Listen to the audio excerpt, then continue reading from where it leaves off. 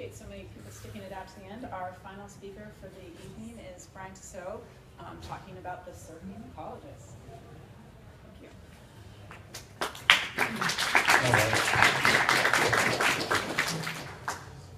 Thank you. And now for something different. so if you had this as a quiz first, okay, if you're going to Tahiti, how many of you would do this? Go dive. That's all? How many of you would go surfing? How many would you would do both?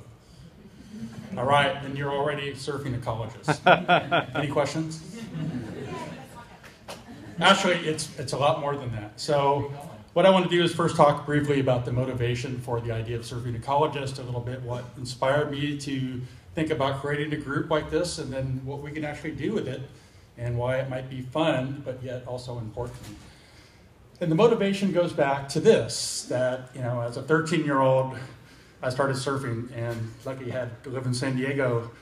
And as most of you know, surfing inspires a passion for the ocean that is really quite unparalleled in anything. And so, in the motivation of the thirst for waves, which never ends, you have to learn to master the tides, the waves, the winds, the water. And of course, that curiosity is what drove me to college which wasn't science, okay? So when I went to Cal Poly, it was mainly because there was good waves there. But luckily, but of course I had great professors, so I ended up being a marine biologist. But I have not forgotten the idea that surfing was a core and still is a core part of my life. And I think that's really important because passion is what drives a lot of us. Our intellect is important, but our passion is what keeps us through. And so I came up with the idea when I was thinking about the 100th anniversary, and this is the first meeting that I went to, this was back in 1980. My advisor was Dave Montgomery. He used to drag me in his office and we'd stuff envelopes because they used to mail out the uh, newsletters for years. And he basically told me finally I had to go to a meeting. We used to meet every four years for the American Society of Zoologists. These were big, huge meetings. Of course, my first one was one of those, and I was scared to death. But that was 37 WSNs ago. And as much as I feel like we've made a lot of progress, I also feel like we're, we're losing the battle in some ways, you know. And I think we need to start thinking about doing things differently as well as keep doing what we're doing. And so the idea of that, of thinking back and reflecting on my career as a marine biologist, is that science is absolutely necessary. We have to do it. It's really important. Everything you do for research is key, but it's not enough by itself and that is there's other things we have to do. One of those, we have to influence management and policy. I think we know that. We also have to influence public perception. That's really, really important. So the idea of surfing ecology is to drive something new that's creative and impactful, but also adds another ally to our arsenal, so to speak. And so with that in mind, surfing ecology is really thinking about the idea of how does a surfing lifestyle one dedicated to riding waves and living in the coastal environment, how does that inspire scientific research and education on marine ecological issues? And idea is, what does surfing tell us about what's important in the ocean? And I think it's a different perspective, a different way of thinking about marine problems. And the inspiration for this is the idea of surfing doctors. How many of you heard of those?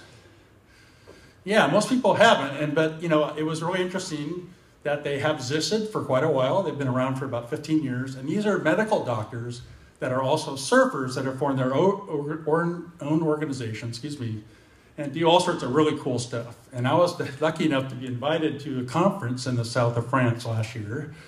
And uh, they asked me to come and talk about marine ecology, which is really a challenge, but an interesting group.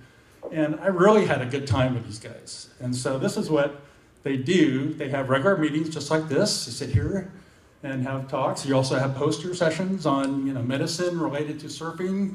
We also do, and this is what something I learned from this, is they do lots of fun things. They do hands-on work. They also have like a paddle out in the morning, and they actually have surfing built into the schedule. So note for future WSN exercises.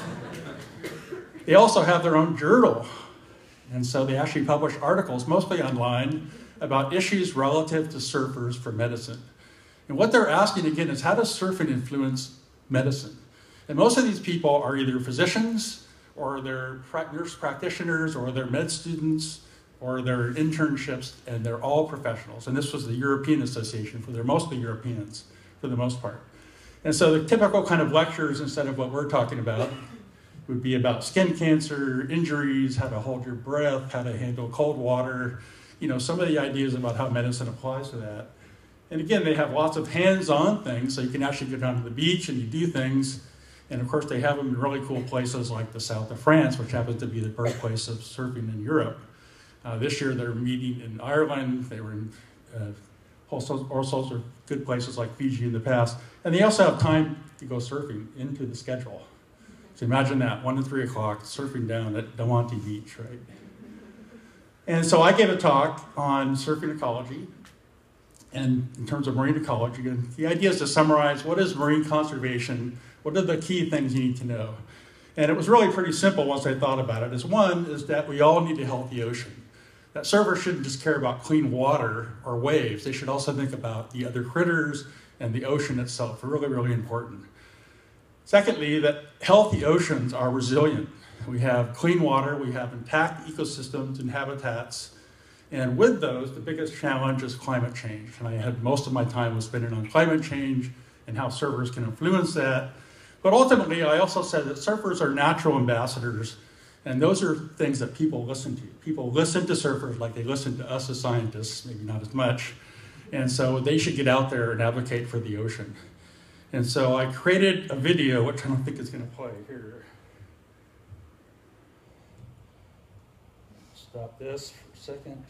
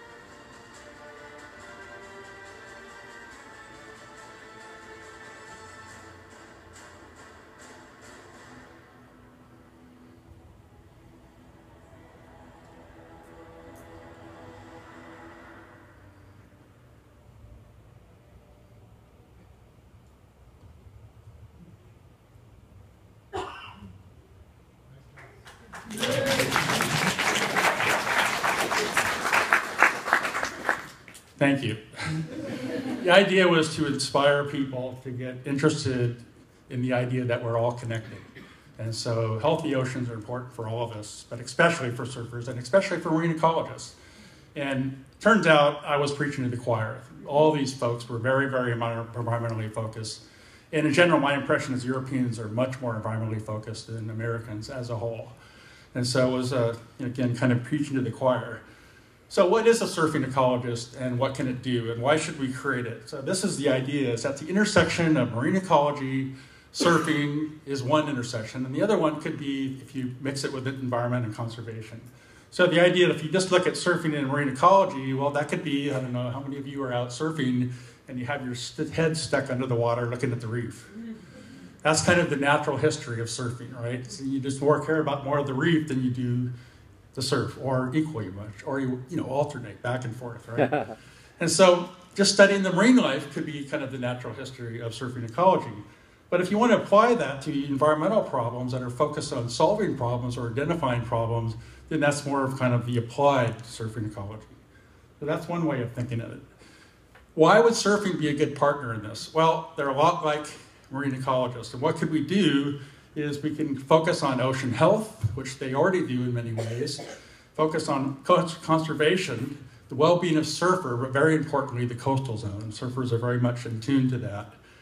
And surfing is a really important part of this, is that in surfing, like science, inspires dedication and passion, often a lifetime's devotion to that. People that are surfing spend a significant time in and under the water and in the coast, and so they're getting tuned like we do with the Earth's problems, with the rhythms of the ocean. We understand some of the issues that influence us. These are the people that get sick when the water's polluted, and you probably heard there was a guy that actually died last year from polluted water in San Diego. That's how bad it gets. The estimate says there's 35 million surfers worldwide. And so there are a huge number of individuals out there. And they're very diverse. Not only do you have little kids that are surfing and their parents, but also uh, people up into their 90s that are still out surfing. And they occupy all positions of government, you know, uh, professionals, organizations, schools, you name it, very ingrained in the culture. And many times they can be very strong ambassadors for the ocean, like the Hands Across the Sand, which protests a lot of beach development. Uh, if you remember, Trestles was they were going to build a freeway there. It was defeated twice, largely by surfers protesting. And so they can be a really important ally in the idea of surfing ecology. And of course, why should marine ecologists be part of this? Well, the truth is we're very similar. Marine ecology also inspires passion and energy. We spend a lot of time in and on the water, and and we're also, there's millions of us. I don't know how many. I couldn't actually get a number, but I assume there's a lot of people. And like that, like surfers, we're also major agents of change in a different way. Part of what we do is we have very diverse approaches, whether they're biological or physical, chemical, geological. We do research, which can identify and solve problems. We do education, which can be agents of change. And very much so, we can influence policy and management. But also, we have very strong connections of education all the way through preschool, all the way up into public education, of course, higher ed specifically. And so I think joining these two forces can be really important to thinking about how we could solve some problems. So, what I want to show you some examples of some things that might work. Probably the easiest thing to do is work with organizations that are already doing some of this. As you may know, Surfrider is very, very much focused as an environmental arm of surfing and they're huge. There's about a quarter million Surfrider members in the United States alone. And so they do a lot of work on ocean health, coastal development, and marine debris, all sorts of programs like that. So getting involved with them is a pretty easy way to do that. Another group which is really important in California, Heal the Bay, does a lot of water quality work and monitoring of streams, marine debris work. And then also, just like MPAs, there are surf reserves. How many of you heard of those? You should because there's one right here. The idea of surf reserves are places that have kind of a special status and so therefore get special treatment. So one of those, there's a bunch of those in the United States and other parts of the world, is right here in Santa Cruz. And if you haven't seen it, the surf reserve goes from Natural Bridges State Park all the way over to the Hook, 21 surf spots, seven different uh, sites. It's part of the National Marine Sanctuary, it's part of the Natural Reserve System, and so there's lots of opportunities for collaboration there. And then for each site, they kind of have, you know, a little primer on the surf spots and what the issues are with respect to climate change or sea level rise or things like that. So there's an opportunity to collaborate around surfing reserves. The other one is this new thing I've just heard about. Hopefully, if you've heard of SmartFin, which is a really nice idea. I have a really short video for that as well.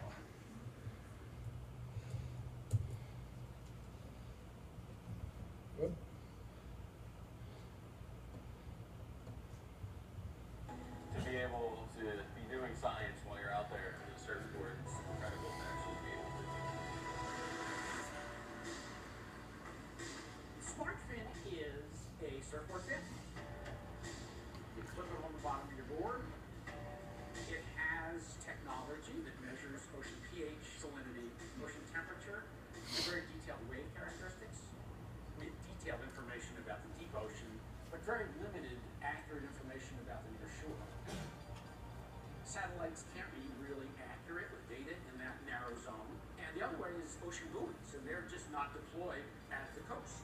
Bingo. SmartFin can fill that gap.